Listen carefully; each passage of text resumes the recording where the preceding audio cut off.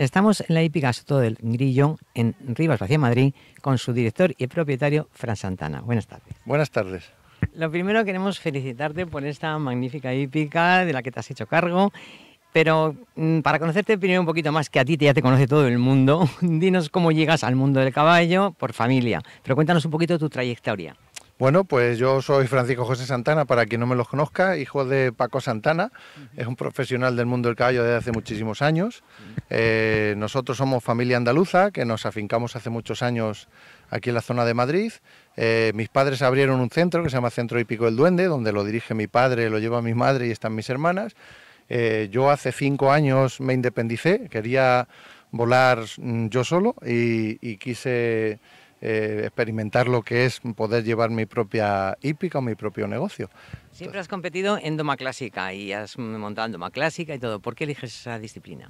Bueno, pues eh, la verdad que nosotros nos criamos, mi padre fue subcampeón de España de doma vaquera y mi padre nos inculcó lo que es la doma, la equitación, pero a la vaquera. Sí que es verdad que hace en el año 86, cuando nosotros empezamos aquí a montar en Madrid, doma vaquera había, pero doma clásica no había mucho. Entonces ha ido modernizándose la equitación, o por lo menos aquí en la zona centro, hacia la doma clásica.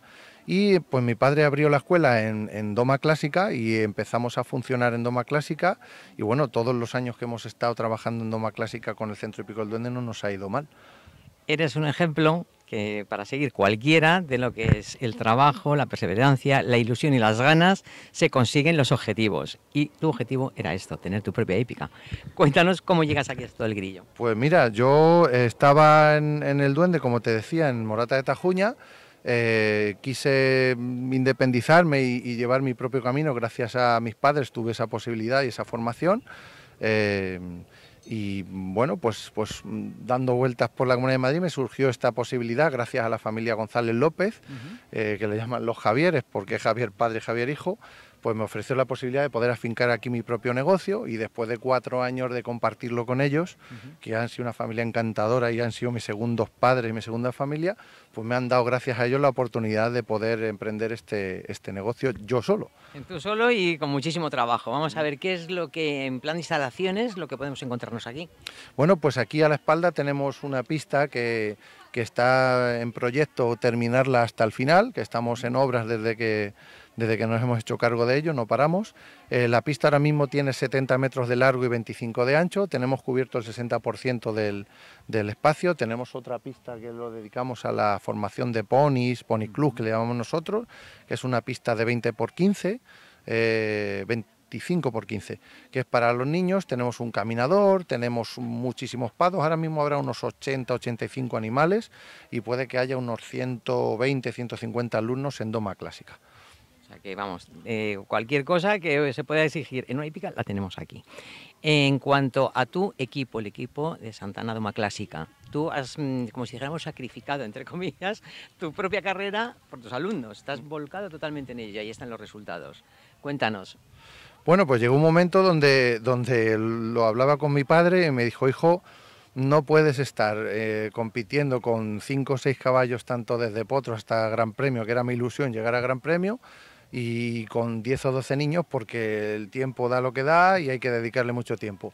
Entonces, mm, mis objetivos personales se fueron cubriendo, mm, fui desarrollando mis propias ilusiones, las, las llevé a cabo y empecé a darme cuenta que, que era, o que creo que era mejor ayudando a los chavales, creando binomios y poniéndolos en competición y contándoles mi experiencia en lo que yo he sido como competidor, que lo que era realmente como, como persona. Con muy buenos resultados, con muy buenos resultados, porque ahí los tenemos, ya nos hablarás de ellos.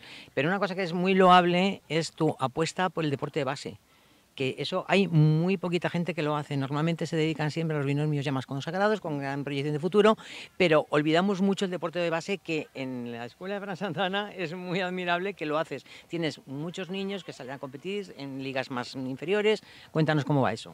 Mira, yo la, la idea mía, yo creo que una vez que el binomio en sí ya está creado, ya tiene un currículum deportivo, un palmarés y ya está funcionando con unas medias bastante altas en competición, tanto territorial como nacional, eso ya es mantenerse. Dicen que lo difícil es mantenerse. Bueno, pues yo creo que en la posibilidad de poder darle a una binomia, a una familia humilde, trabajadora, la posibilidad de poder crear un binomio desde abajo y llevarlo a ese nivel, yo creo que es muy complicado, por lo menos en equitación. Entonces, yo me siento que ayudo y que aporto más eh, creando binomios de competición y haciendo una escuela potente, llevándolos hasta lo que yo pueda llevarlos.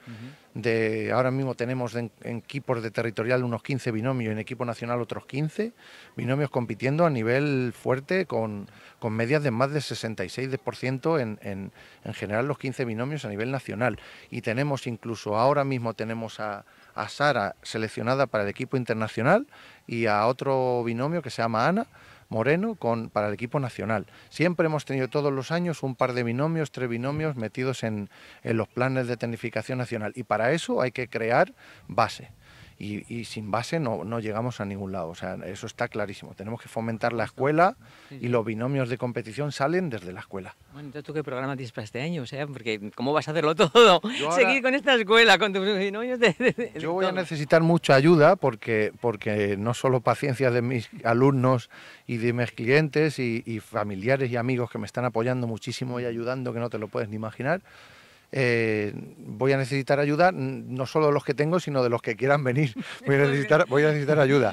Entonces, ahora estamos en obras con las instalaciones para dar un servicio que yo creo que se puede, siempre se puede mejorar, pero yo creo que vamos a intentar mejorarlo todo lo que podamos y en el equipo de competición estamos a tope. Ahora en marzo empezamos nosotros el calendario, lo hemos retrasado por el tema de hacernos cargo de la hípica, pero ahora el día 1 de marzo arrancamos con calendario nacional y no pararemos ya hasta diciembre como hacemos todos los años. Pues te deseamos muchísima suerte, que siga tu andadura maravillosa con este centro, con tus alumnos y muchas gracias por habernos recibido. gracias a vosotros y, otra vez gracias a Ocio Caballo y a, y a, vuestras personas porque siempre estáis al pie del cañón y ayudándonos a todo lo que es el mundo hípico. Gracias a ti,